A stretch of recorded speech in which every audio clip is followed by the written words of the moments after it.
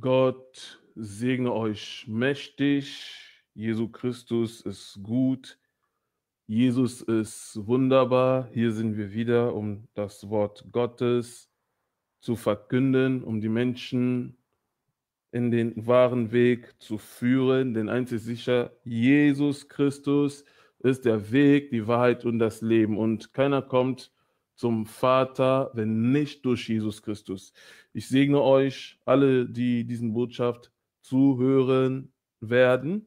Gott segne euch. Ich bin hier über Reklamationen zu sprechen.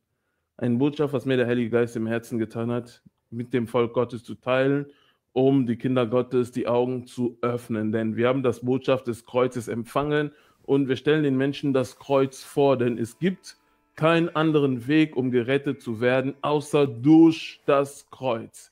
Amen. Und der Herr hat uns diesen Befreiungsdienst gegeben. Befreiungsdienst ist ja nicht nur für die Befreiung zu, bet zu beten, weil nicht nur das Gebet befreit. Die Bibel sagt, ihr werdet die Wahrheit erkennen und die Wahrheit wird euch frei machen. Amen. Es ist auch das Botschaft, was frei macht. Amen. Es ist das Botschaft, was uns selbst für die wahre Befreiung vorbereitet.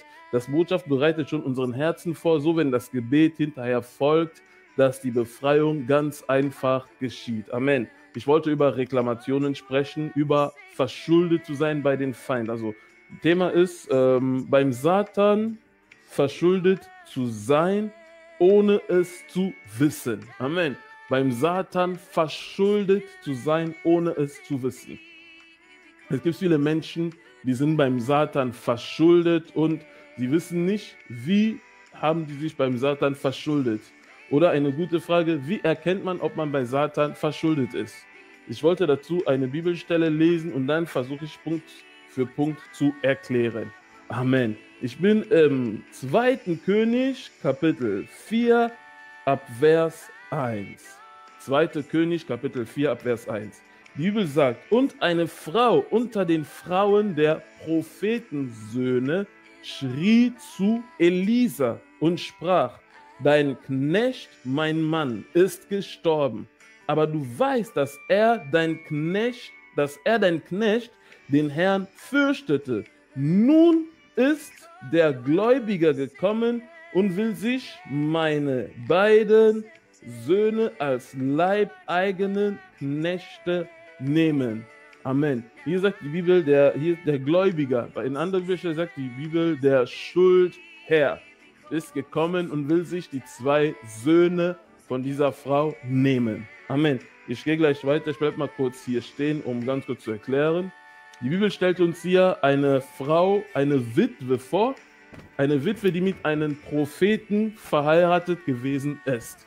Amen. Weil ein Prophetenjünger ist ein Prophet. Das sind Schüler, die für den, die im Prophetenschule vorbereitet werden, die in Prophetenschule studieren, die werden dafür vorbereitet, um irgendwann in diesen ähm, Dienst einzutreten. Amen.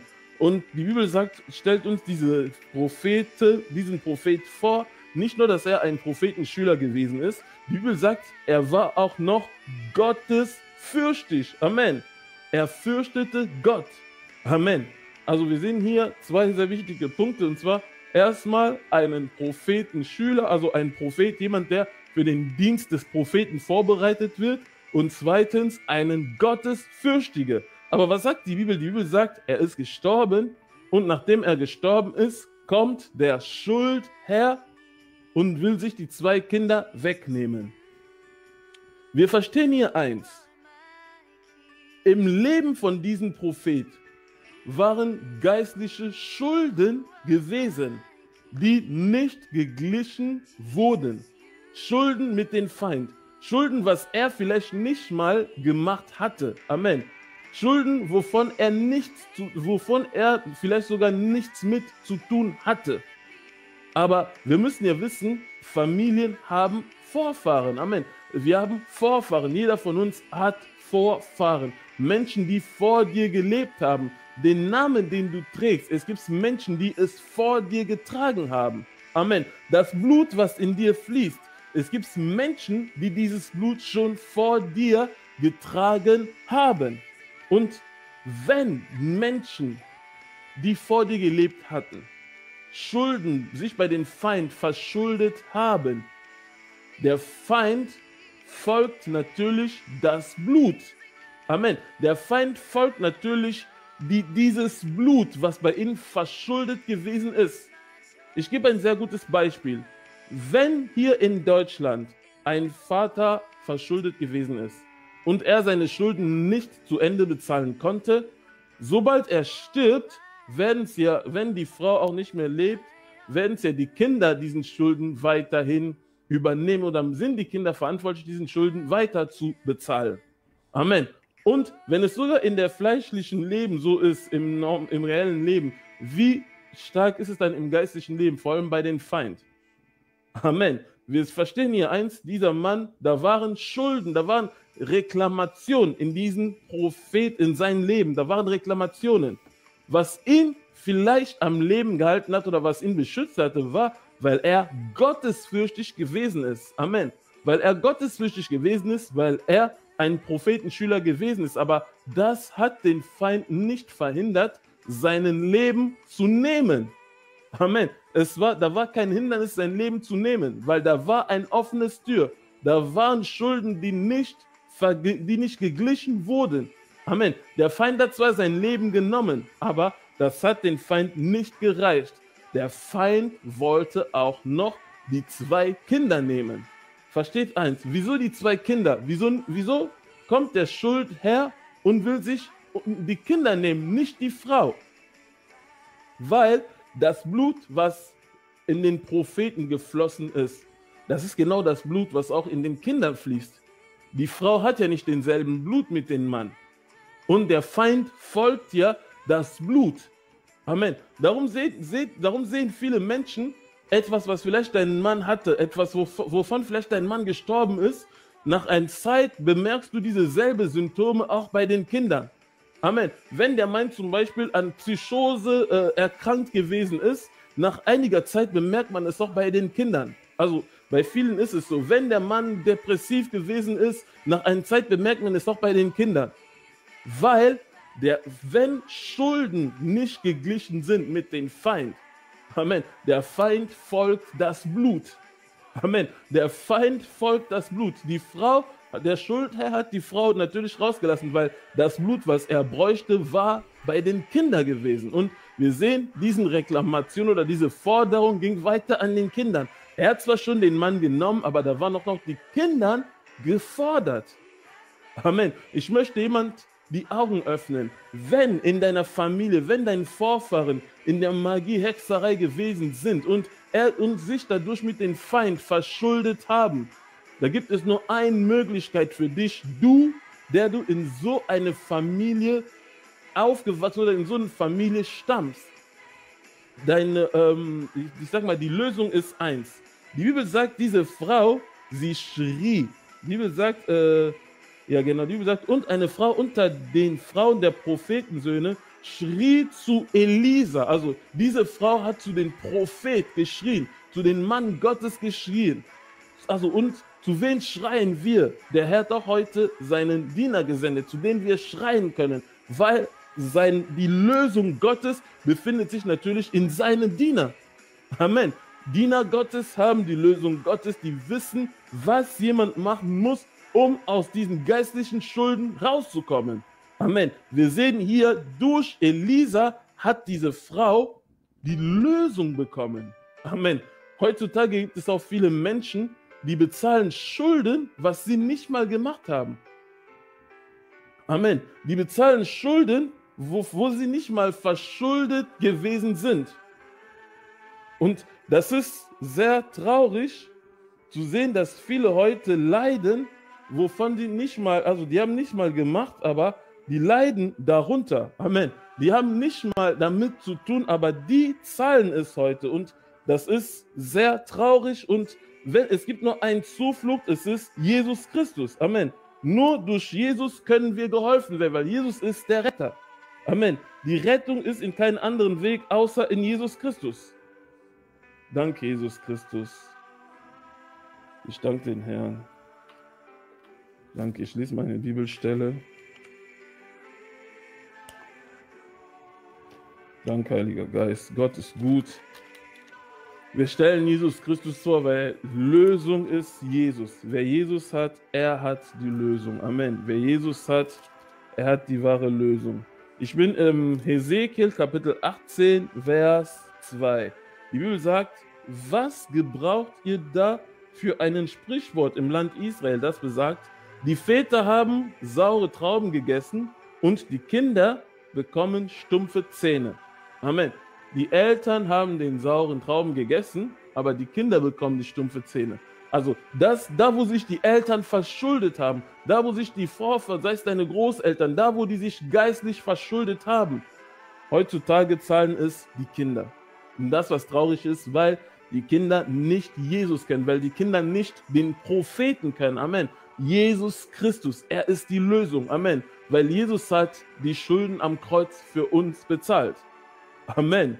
Die viele leiden heute, weil in deren, deren Vorfahren, die hatten ein super Leben gehabt, die haben ähm, Bündnisse mit dem Feind unterzeichnet, die haben ein gutes Leben gehabt, waren reich gewesen, hatten alles, was sie brauchen, aber als sie Bündnisse, also als sie Verträge mit dem Feind un unterzeichnet haben, viele haben noch dadurch die nächste Generation bei den Feind verkauft. Amen. Es gibt viele Menschen, die leben heute, aber die sind schon bei den Feind verkauft. Die wurden schon, schon verkauft, bevor sie selbst geboren wurden, weil deren Vorfahren, die haben Bündnisse mit dem Feind unterzeichnet. Amen. Und solche Bündnisse müssen gebrochen werden, damit der oder diejenige zur Freiheit kommt. Amen. Reklamationen, Forderungen, Leben, die vom Feind gefordert sind. Gott ist gut. Ich wollte noch eine Geschichte lesen, damit wir wirklich verstehen, was Reklamationen sind. Mein größtes Gebet ist, dass der Herr dir wirklich die Augen öffnet. Mein größtes Gebet ist, dass du wirklich verstehst, was der Herr, wo der Herr dich erwartet, was der Herr mit dir vorhat. Gott hat nur Gutes mit uns vor. Gott will dir Frieden geben. Die Bibel sagt, Gott gibt uns den Frieden, was uns die Welt niemals geben kann. Amen. Und die Zeit ist da, dass wirklich deine geistlichen Schulden ein Ende finden im Namen Jesus Christus. Die Zeit ist da, dass du zur Ruhe kommst. Amen. Der Herr schenkt dir Ruhe, denn die Bibel sagt, wenn der Sohn euch frei macht, dann seid ihr wirklich frei. Das heißt, da ist noch eine Freiheit für mich und für dich vorhanden und das finden wir nur in Jesus Christus. So wie diese Frau sich an den Propheten gewendet hat, wende dich an Jesus Christus. Komm zu Jesus und du wirst nicht enttäuscht werden. Jesus wird dich nicht enttäuschen. Im Gegenteil, Jesus wird dir Frieden schenken. Ich bin im Buch vom, ich bin im Buch vom Ruth. Ich bin im Buch vom Ruth, das ist hinter Hiob, wenn ich mich nicht irre. Danke, Jesus. Danke, Mashiach. Danke, Jesus Christus. Du bist gut, Jesus. Danke, Herr. Ich bin im Buch vom Ruth. Da sehen wir auch eine ganz, eine besondere Geschichte. Verstehen wir auch etwas, was uns der Herr da lehren will, was sich im Buch vom Ruth abspielt. Dank Jesus Christus, ja, es ist, Ruth kommt nach Richter. Gott ist gut. Ruth kommt nach Richter. Danke, Jesus Christus. Buch vom Ruth. Amen. Ich bin im Ruth, ich beginne ab Kapitel 1. Was sagt uns die Bibel?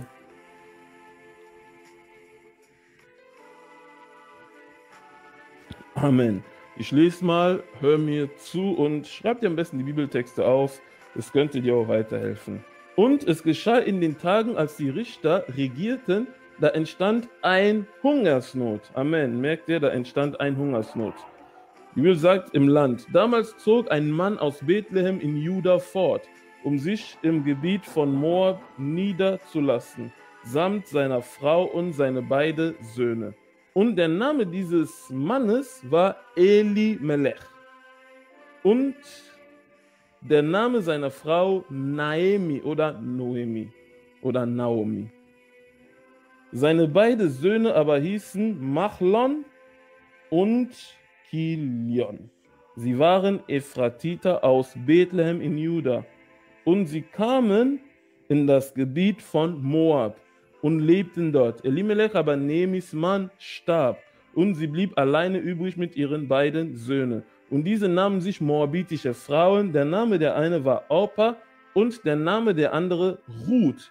Und sie wohnten etwa zehn Jahre dort. Danach starben auch sie beide, Machlon und Kilion, so dass die Frau ohne ihre beiden Söhne und ihren Mann alleine übrig blieb. Amen. Ich bin hier, um über diese, über diese Familie zu sprechen.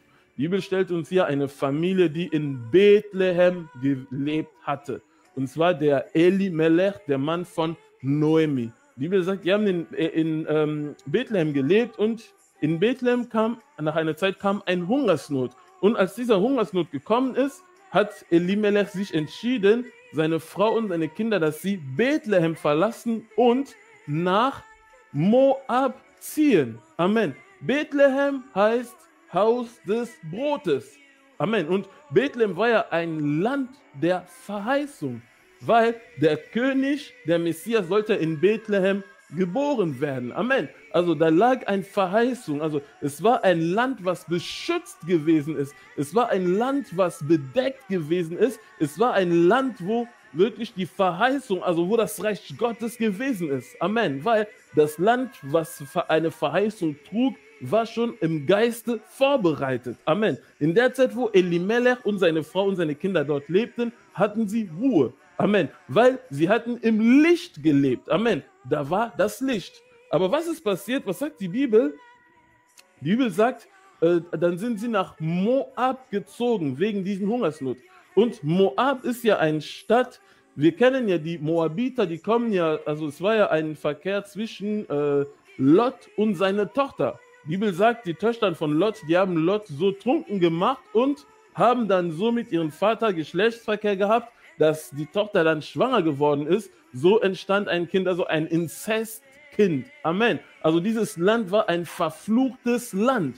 Amen. Jemand, der Bethlehem verlässt, es ist jemand, der das Licht verlässt und ins Dunkelheit geht. Amen. Das sind auch diese Fehler, was viele Menschen machen. Viele sind in Jesus Christus und haben in Jesus Frieden gefunden. In der Zeit, wo man in Jesus ist, hat man Schutz, hat man Frieden, hat man Freude, man hat alles. Amen. Man ist bedeckt durch das Blut Jesus. Und sobald man auf falsche Gedanken kommt, Jesus zu verlassen und in die Dunkelheit zu gehen, sei es in die Magie, sei es in der Zauberei, sei es in Buddhismus, sei es in Hinduismus, sei es in, einfach in den falschen, in den kompletten verkehrten Weg. Sobald man das Licht verlässt, um in die Dunkelheit zu gehen, bist du in den Hand des Feindes. Amen. Und wenn wir uns dieses Leben von Elimelech betrachten, da sehen wir, in seinem Leben waren auch Forderungen gewesen. Amen. Es war ein Leben, was gefordert gewesen ist vom Feind. Aber in der Zeit, als er in Bethlehem gewesen ist, konnte der Feind ihm nichts antun, denn er war unter den Schutz Gottes. Amen. Denn Bethlehem ist Haus des Brotes. Und wir wissen ja, Jesus ist das Brot des Lebens. Also er war im Haus Jesu Christus gewesen. Amen. Er war im Gegenwart Gottes. Da konnte ihn der Feind nichts antun. Amen. Aber sobald er sich entschieden hatte, das Licht zu verlassen und in die Dunkelheit zu gehen, sobald er sich entschieden hatte, den Herrn zu verlassen und den Feind nachzufolgen, was ist passiert?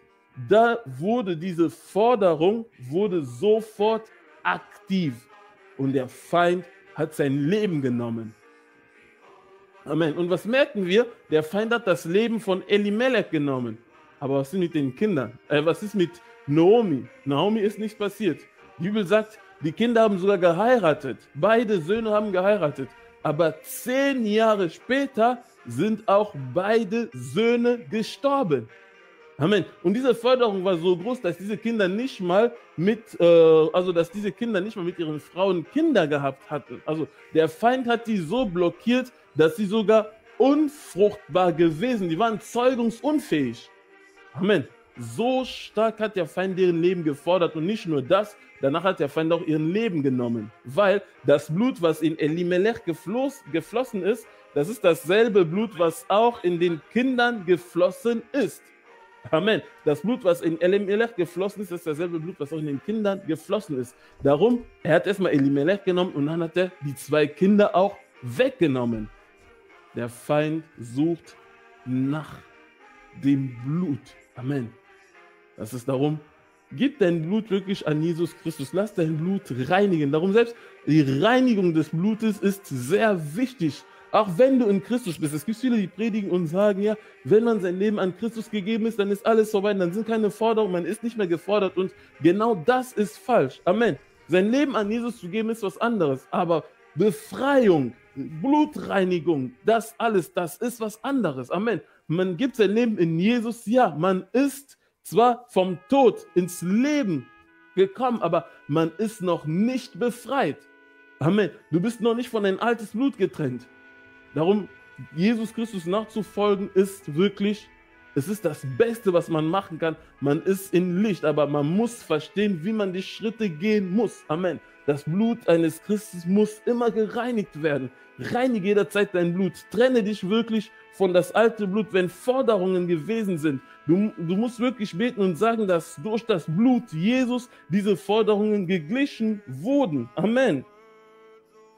Danke, Jesus Christus. Danke, Jesus Christus. Danke, Jesus Christus. Danke, Jesus Christus. Gott ist gut. Gott ist gut. Ich lese mal kurz in Kolosser. Danke, Herr Shamashia. Ziel ist eins, dass wir wirklich verstehen, worum es geht. Wir lieben Jesus Christus. Wir lieben Jesus Christus. Jesus ist unser Alles. Ähm, Kolosser Kapitel 2, Vers 14. Und er hat die gegen uns gerichtete Schuldschrift ausgelöscht, die durch Satzungen uns entgegenstand und hat sie aus dem Weg geschaffen, indem er sie ans Kreuz heftete. Amen. Diese Bibelstelle hat Kraft. Amen. Diese Bibelstelle hat Kraft, selbst um Schulden, um geistliche Schulden zu brechen, um Forderungen zu brechen. Amen. Darum ein Christ, wenn du betest, trenne dich wirklich von das alte Blut, trenne dich von den Schulden. Du musst den Feind vorstellen, dass das Blut Jesu Christus dich erkauft hatte. Du bist durch das Blut Jesus Christus erkauft. Amen. Und eins solltest du wissen, solange dieses Blut in dir fließt, die Forderungen werden immer da sein. Darum ist jederzeit, wenn du betest, wenn der Heilige Geist dich darauf aufmerksam macht, reinige dein Blut, trenne dich von alle Bündnisse, die in der Vergangenheit gemacht wurden. Darum, selbst das Kampfgebet im christlichen Leben spielt eine sehr große Rolle.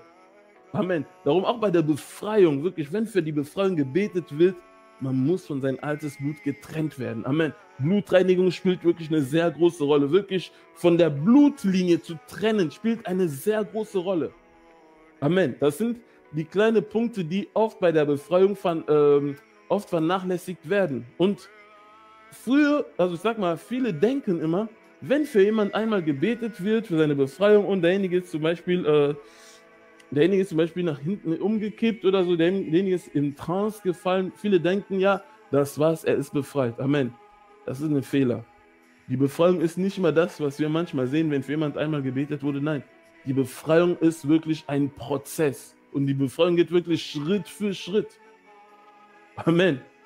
Wir sehen hier jemand, der ein Prophetenschüler gewesen ist, aber der Feind hat nach seinem Leben getrachtet. Das heißt, du kannst in Jesus Christus sein, aber wenn du von der Vergangenheit nicht richtig getrennt wurdest, der Feind kann immer dein Leben fordern. Forderungen können, können immer da sein. Und wenn es dich nicht erwischt, es können auch deine Kinder erwischen. Amen. Es gibt manche Menschen, bei denen war äh, alles okay, aber bei deren Kinder wieder, äh, wiederholt sich das, was in der Vergangenheit gewesen ist. Das, was vielleicht der Großvater erlebt hatte, das erleben dann die Kinder, also die Enkelkinder. Amen. So ist der Feind. Manche denken ja, der Feind hat sie in Ruhe gelassen. Nein, wir haben nichts, aber aufpassen, der Feind weiß, was er tut. Amen. Der Feind ist schon schlau. Darum, unser Zufluchtort ist eins, es ist Jesus Christus. Ich bin hier, um dir eins zu sagen, Jesus macht frei. Jesus trennt dich von deiner Blutlinie. Jesus befreit dich komplett. Die Blutlinie muss getrennt werden. Amen. Eine komplette Trennung von der Blutlinie, der väterlichen Seite, der mütterlichen Seite. Da muss eine Trennung geschehen. Es gibt selbst Dämonen, die sich im Blut aufhalten. Amen. Die Befreiung ist wirklich eine, die Befreiung ist wirklich etwas Tiefes. Die Befreiung ist nicht nur etwas Oberflächliches, dass man nur ein ganz kurzes Gebet ausspricht und sagt, ja, am Kreuz und so. Nein, die Befreiung ist wirklich etwas sehr Tiefes. Die Befreiung kann wirklich Zeit nehmen, kann Tage nehmen, kann wirklich Monate nehmen, bis jemand wirklich eine komplette Befreiung erlebt. Aber es ist möglich im Namen Jesus Christus. Amen. Gott ist gut. Über Forderungen habe ich gesprochen. Und ich werde noch so, der so gut der Herr werde ich noch ein Video posten über Forderungen, denn der Herr hat es mir im Herzen getan, die Kinder Gottes einfach die Augen zu öffnen, damit wir verstehen, worum es hier geht, was wirklich Reklamationen sind, weshalb viele, an, weshalb viele vom Feind angegriffen werden. Menschen, die, die Menschen, die unschuldig sind, Menschen, die nichts getan haben, aber der, der Feind greift sie einfach an. Du fragst dich ja, wieso werde ich angegriffen? Wieso erlebe ich das? Wieso klappt das nicht? Wieso habe ich hier ein Problem? Ja, weil Reklamationen da sind und solange diese Reklamationen, solange diese Forderungen, diese Schulden nicht bezahlt wurden, hat der Feind noch einen Anspruch auf dich. Amen. Und ich wollte diese äh, Reklamation, ich habe mal geguckt, was das heißt.